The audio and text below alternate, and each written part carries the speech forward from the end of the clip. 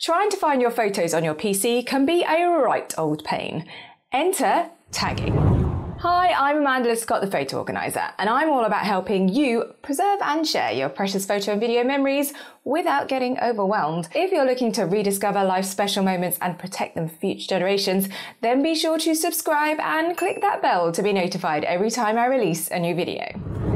Finding your photos is an essential part of being able to enjoy all of your photos. And tagging what they are in the metadata, you know, the data behind your files, is a great way to add an extra layer of information about your photos that you can use to find them. Now, there are a ton of special programs out there that can help you add tags to your photos on your PC. But you don't need anything more than just Windows Explorer. It's that simple. Why add tags? I know, why waste all that time adding tags? It just takes so long, right? Well, it is this simple. It makes your photos totally searchable, so it makes your life so much easier. Also, all of those tags, when you load them up into specialized programs like SmugMug or Lightroom, will stick fast to those photos. So you can then search for all of those tags in those programs and find your photos without having to use any fancy AIs. Tagging your photos. But the most important part is how do you tag your photos?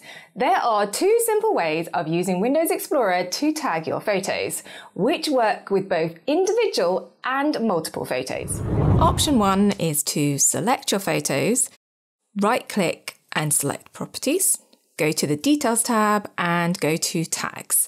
Then you just click on it and put your tags in and separate them by a semicolon. It's that simple.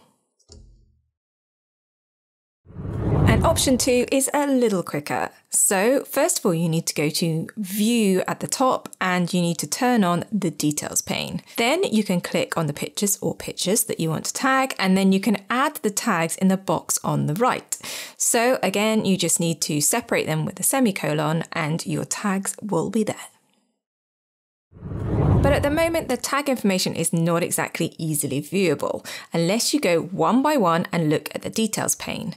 Well, what you can do is actually add it as a column in your Explorer screen.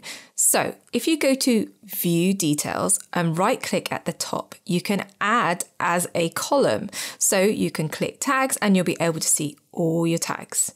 But you can also search for tags by going up to the search box and put in the word tag, put a little colon, and then you can add the word that you are looking for and it will search all of your photos for that tag. Tagging top tips.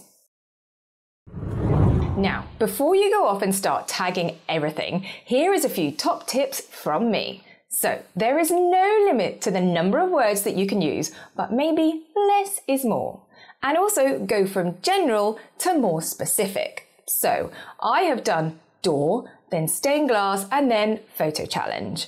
But most importantly, you need to be consistent. It's best to keep a list of words because it is so easy to forget. And before you go nuts with the tagging, have a think about the words you are going to use for things like special events. Are you going to just put birthday or fifth birthday or Amanda's fifth birthday? And on the subject of names, are you going to do full names? And what about maiden names? So do a little bit of planning before you go all out. So there you have it, how to add tags to all of your photos in Windows Explorer. What other ways do you add tags to your photos on your Windows computer? Leave them in the comments below. Are you struggling to actually start organising your photos and videos? Don't know where to start? I have put together a simple, straightforward, quick start guide to organising your photos that's linked in the description below. So click through and I will see you there. Have fun rediscovering your memories. I'll see you in my next video.